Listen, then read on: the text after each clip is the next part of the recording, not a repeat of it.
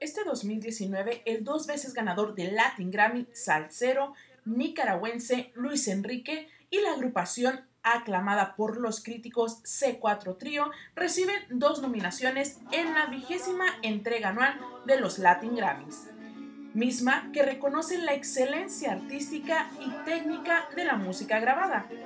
Ellos en esta ocasión están nominados en la categoría como Mejor Álbum Folclórico y Mejor Arreglo por su discoteca Tiempo al Tiempo, álbum que estrenó este pasado mayo. Respecto al sentimiento y emociones que experimentan al ser nominados en los Latin Grammy, Rodner Padilla expresa lo siguiente.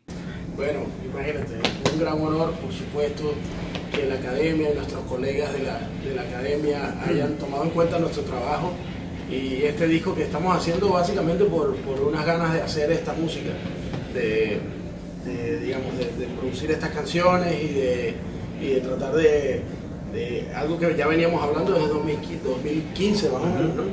Veníamos hablando de, oye, tenemos que hacer algo juntos, pero eso parecía que nunca pasaba, entre mil cosas, ¿no? Pero finalmente ya tener el disco listo y tener, y tener estas canciones ahí que las que la podemos escuchar y compartirlas con ustedes, ya eso es un gran logro para nosotros. Más allá de eso, imagínate estar nominados a los premios de, a los Latin Grammy, ya qué más podemos pedir, eso es como, demasiado. Luis Enrique y C4 Trío tienen por primera vez una colaboración juntos, misma que indiscutiblemente fue todo un éxito. La química es única. Con nosotros comparten un poco de la experiencia que ha sido trabajar juntos. Es la primera vez que hacemos un, eh, proyecto juntos, eh, pero ya eh, el negro ya había estado con C4 en Venezuela, ya ellos se conocen desde hace mucho tiempo, pero en mi caso es la primera vez, sobre todo haciendo música folclórica y un proyecto como este es mi primera vez. Y sí, la química se dio y por eso es que la música también de alguna manera fluye y nuestra energía fluye en escena.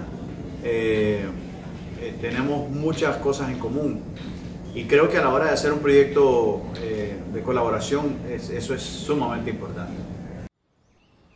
Añoranza la proyección visual de esta gran colaboración, del muy buen resultado de la buena relación, pero sobre todo del arduo trabajo que desempeñan no solo como músicos o compositores, sino como humanos, tomando voz por algo que no se cuenta, por algo que se busca esconder, pero que está ahí.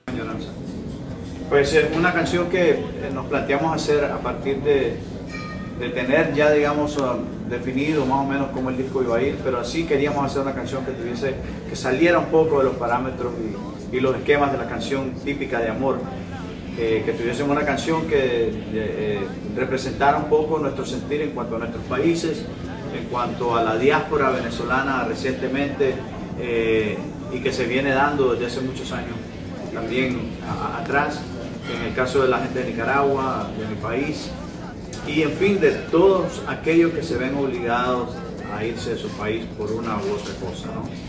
Eh, queríamos escribir una canción que fuera eh, empoderante y, lo logramos. Este, Añoranza, si algo tiene, además de describir la historia del inmigrante y de contar un poco de, la, de nuestras uh, añoranzas, por decirlo así, eh, las cosas que extrañamos de nuestros países, las cosas que dejamos, desde las cosas más sencillas hasta lo más profundo, pues eh, también queríamos hacer una canción que, que edificara, que fuese empoderante, que diera de alguna manera un poco de esperanza a que en algún momento, todos tenemos fe que en algún momento vamos a regresar a nuestros países, a un mejor país, nosotros revolucionados, con una visión mejor del país, etc. Queríamos lograr ese tema y lo logramos. Escribimos esta canción desde el amor sin eh, tener ningún tipo de de tendencia política ni nada por el estilo. Es una canción que abraza eh, y da el valor que se merece al amor, al amor que uno siente por la patria y por lo de uno.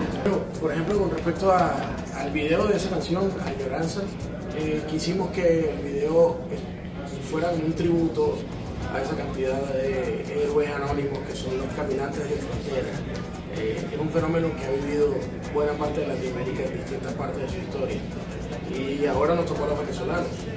Eh, muchos venezolanos han tenido que seguir caminando, como dice la canción, con los sueños arrugados en la mochila y con toda la gente que quiere, se la llevan ahí y simplemente buscar un mejor futuro para ellos y su familia. Eh, caminando hasta Bogotá algunos, caminando hasta, hasta Lima, Entonces, wow, me parece que es una historia muy fuerte, que como, músicos y como artistas, eh, ese, tipo de, ese tipo de historias tan, fuertes merecen, merecen ser habladas y, temas, esos temas merecen ser tocados por, los músicos, y los artistas. Entonces ese video es básicamente un tributo que le hacemos a, todas esas personas, que yo sepa que también, a pesar de que muchos no salimos caminando, sí salimos con, con a la mochila también, así que eh, todos estamos en esta misma historia y de parte de nosotros nuestro respeto y, y admiración por todo lo que hace el día a día.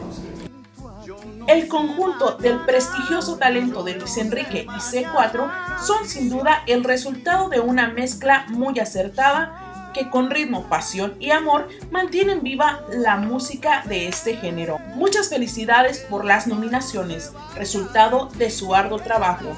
Para Berea Visión, Tirsa Pantoja. Berea Visión, Luis Enrique, C4 Trío, les enviamos un beso y un abrazo. Gracias por sintonizar y por ver las entrevistas que trae Visión para todos ustedes.